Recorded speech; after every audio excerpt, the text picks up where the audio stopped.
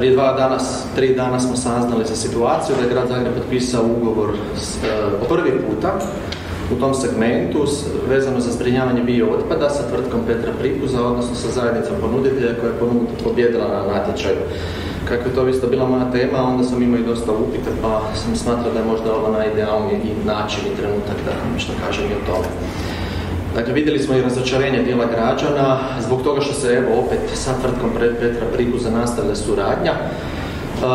Ja također dijelim djelomično to razočarenje, no i u, pred, u predizbornoj kampanji, što možda nije bilo oportuno, sam govorio otvoreno o tome da dok se ne stvore kapaciteti, dok se ne ide, ide direktno ulaganje od kupnje drobilice, uh, izgradnja sortirnice, kompostane, za što je potrebno određeno vrijeme, nije mudro, nije pametno, nije, o, o, nije efikasno raskidati bilo kakve ugovore ili naprosto naprasno prekidati uh, postojeće, postojeći način odvoza otpada jer ne želimo da se dogodi napolj gradu Zagrebu, ne želimo da se otpad prestane odvoziti, ne želimo da se situacija koja je bila nekoliko puta proteklih godina ponavlja.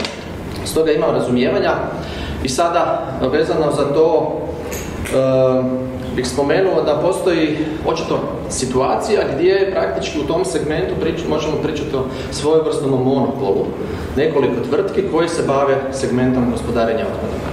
One imaju sve e, dozvole, one zadovoljavaju se uvjete, one se mogu javiti na svaki zakon o javnoj nabavi, one će zadovoljiti i proći takve provjere, no pitanje je uvijek cijene. I to je nešto što smo komentirali predizbornoj kampanji, što sam i komentirao s gradonačelnikom direktno, komunicirao o tome kako povećati kompetitivnost, kako povećati, kako ostvariti zapravo uštede time što ćemo omogućiti u javnom pozivu da se više tvrtki može prijaviti na natječaj. Da se to ne, ono, ne, ne ograniči. I tu, je, e, tu se dogodio pomak. Dakle, ovaj natječaj koji je bio prvi veliki natječaj gradonačelnika Tomaševića, na 36,5 milijuna kuna vidjeli smo pomake. Da sad ne idemo u detalje, od mogućnosti uvjeta, pretovara, e, kako se, kako se pakira taj otpad i tako dalje. No smatram da postoje još mogućnosti poboljšanja kako bismo u okviru te zakona, zakona koji postoje uspjeli dobiti više tvrtke koje će se javiti na natječaj, a time smanjiti cijenu. Jer vidjeli smo